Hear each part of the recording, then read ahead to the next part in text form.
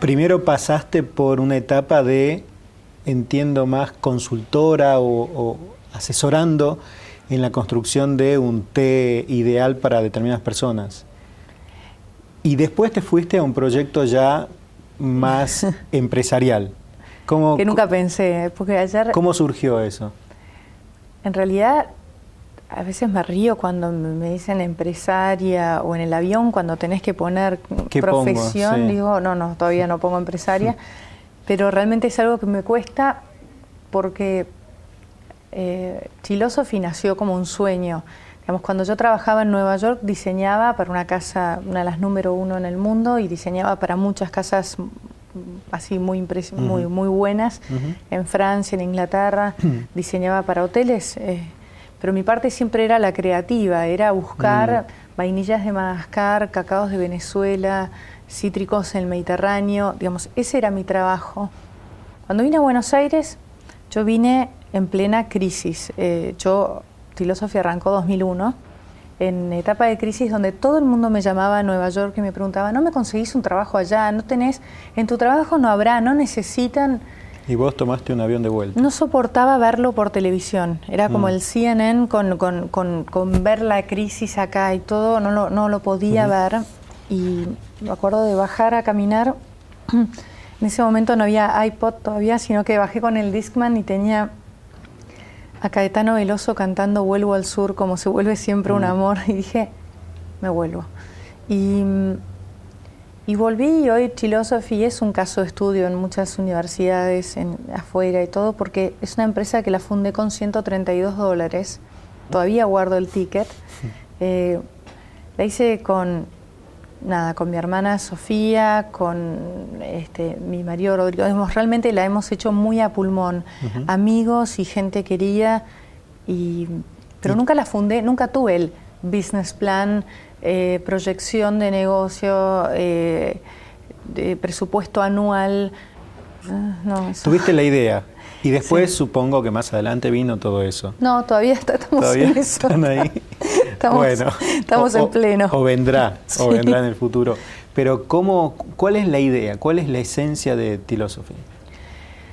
Eh, en Estados Unidos pasó una cosa que fue bastante determinante. Yo empecé a diseñar para una casa que se llama Tazo. Tazo se vende a Starbucks, eh, otra empresa en, muchísimo dinero, en 54 millones de dólares.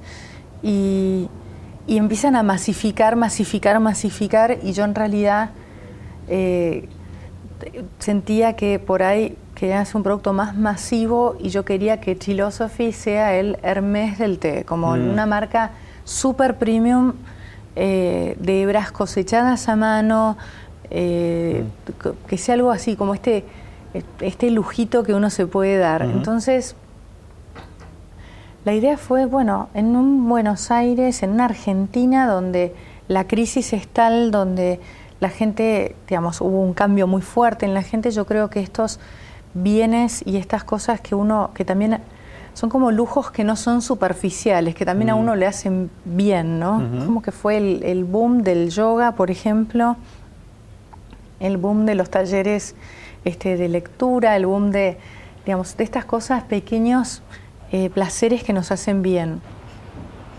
Y la verdad que pensé, yo creo que es el momento donde la gente invierte en uno, en las cosas que, en, estas cosas, ¿no? Entonces, em, Ahí, bueno, fundé Philosophy, que es el té como lenguaje. Ahí está. ¿Y, hoy, qué es lo que hoy tenemos más de 150 variedades de té. Me daba cuenta que importar en Argentina era imposible por el cambio del dólar. Yo en Nueva York me traían 70 catálogos y era una cuestión de tener buen gusto. Entonces decía, quiero esta tetera, quiero este colador, quiero esto. Cuando llegué acá me di cuenta que no, que por ahí no podía este, importar y empecé a diseñar, a diseñar unos cuencos en Patagonia, una mm. línea de teteras, a diseñar una línea de jaleas, una línea de trufas de chocolate belga y té, una línea de pomelos de, jengibres por, este, torneados y azucarados. Eh, publiqué un libro, saqué un disco junto a Warner Music Mundial eh, y hoy Philosophy tiene muchísimos productos. Tenemos líneas de teteras, tenemos líneas de tazas, tenemos coladores de todo tipo. Eh, entonces uno puede ir y no solo buscar y elegir entre 150 variedades con gente que te va guiando y que te va explicando que una cosecha de té negro con peras de otoño y ramas de canela, quizás una cosecha de té negro con vainilla de Madagascar, cacao de Venezuela y naranjitas tostadas, o si quieres empezar con un té verde con ananas caramelizados y maracuyá o puros, te vamos guiando y te vamos enseñando, bueno, ¿dónde lo tomas? ¿En tu oficina, enfrente a la computadora?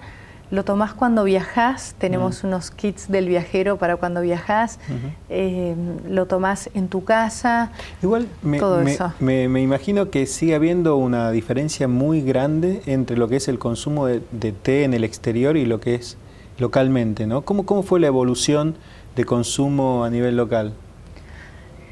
Con Philosophy lo que pasó fue muy impresionante, realmente fue muy impresionante. Este, por eso siempre está lo bueno y lo, y, lo por ahí más difícil que fue, eh, tuvimos una demanda bestial, en ningún momento salimos a hacer publicidad. Eh, nosotros diseñamos el té de los mejores hoteles y restaurantes eh, y ya el primer año diseñábamos la carta del Hotel Alvear, este, del Yao Yao, de de, restaurantes así como realmente mm. excelentes. Eh, entonces, la demanda es muy grande y hacemos muchísimo hincapié en mejorar el producto todo el tiempo. Siempre estamos como y esa muy es tu Función, me imagino. Tu función, exactamente es, producto.